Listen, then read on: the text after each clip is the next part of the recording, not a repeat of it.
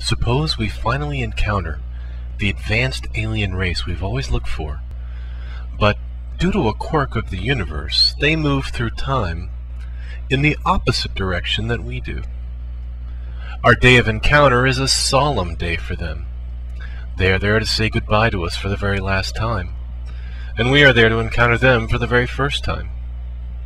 Conversations are easy for them, more difficult for us, as they have learned to communicate with us in a weird, backwards logic, and their English is perfect from over a thousand years of living on Earth.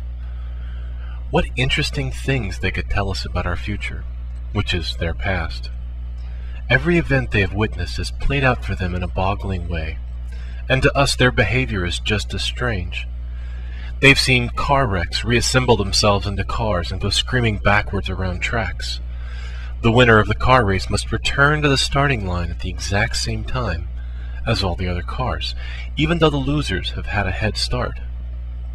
The aliens have seen rotting logs, mere piles of sawdust, be resurrected into mighty oaks, and progressively shrink in on themselves, becoming seeds.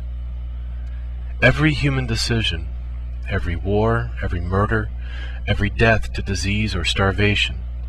All of human misery or joy is a foregone conclusion to them, and they see it happening in reverse if they are there to observe it. There's no mystery in our future because it is their past.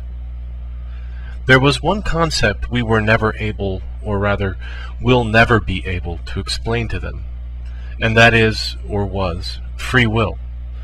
It's a meaningless concept to them. Our chain of causality is not their chain of causality. We see every decision have a consequence. They see the consequence and simply await the predestined decision.